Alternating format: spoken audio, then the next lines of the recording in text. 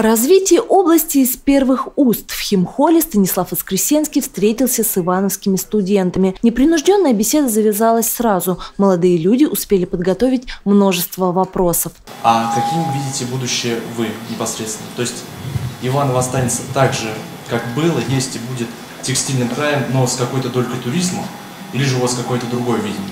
По-разному можно относиться к эпохе перемен. Сейчас технологии фантастически меняют нашу жизнь. Вот, например, возьмем текстиль. Если раньше вот у многих представлений было, что такое успешное текстильное предприятие, это огромное предприятие, где много э, ткачей, швей и так далее. Сейчас мир совсем по-другому будет выглядеть. Как отметил губернатор, в области активно может работать и текстильная промышленность, и машиностроение, и сельское хозяйство. Еще один путь развития региона – туризм – интересовал студентов, которые сейчас разрабатывают специальное мобильное приложение для путешествий по Ивановской области. Найти даже инвесторов, чтобы помочь чтобы развить это нужно было не на уровне нашего университета, да, а чтобы это принесло пользу прежде всего области.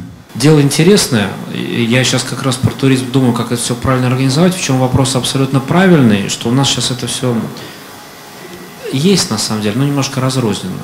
У нас нет такого, ну, кстати, вообще мало где в регионах каких российских есть, а, нет такого, что ты вот приехал и прям четко понимаешь маршрут, где тебе провести интересное время. Молодые люди улучшили момент и попросили Станислава Воскресенского принять участие в грядущих губернаторских выборах и заметили, всегда готовы поддержать. Кроме того, речь зашла о международных отношениях, развитии культуры, секретах успеха.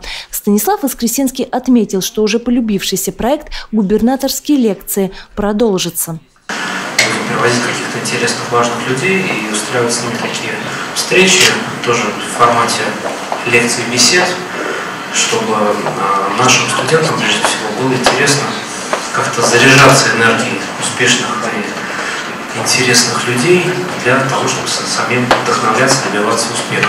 Ивановские студенты попросили, чтобы одну лекцию провел известный видеоблогер Юрий Дудь. Станислав Воскресенский пообещал посодействовать и заметил, что скоро перед молодыми людьми выступит интересный человек из Европы, но имя таинственного гостя пока не раскрыл. Мария Попова, Анатолий Логинов, РТВ Иванова.